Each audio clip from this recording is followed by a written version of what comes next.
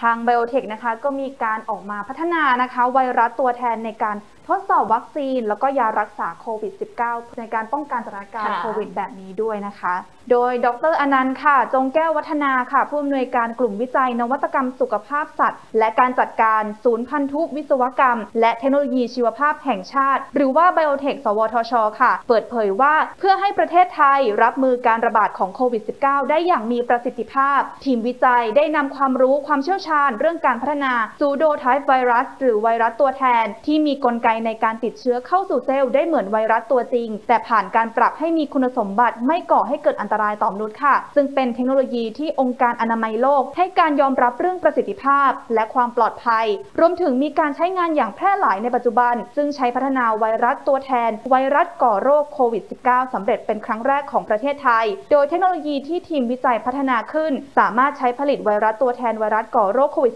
-19 จากข้อมูลรหัสพันธุกรรมได้ทุกสายพันธุ์ค่ะ ดร.อนันต์นะคะยังกล่าวต่ออีกว่า ไบโอเทคได้นำไวรัสตัวแทนมาให้บริการการวิจัย และพัฒนาวัคซีนโควิด -19 ในประเทศแล้ว ทั้งการทดสอบประสิทธิภาพของวัคซีนโควิด -19 ที่มีการฉีดภายในประเทศ การทดสอบสูตรการฉีดวัคซีนโควิด -19 สำหรับบุคคลกลุ่มต่างๆ และการทดสอบประสิทธิภาพของวัคซีนโควิด -19 ที่ผลิตขึ้นในประเทศอาทิ วัคซีนจุฬา COV9 วัคซีนใบยา และวัคซีน HXP GOP VAC ค่ะ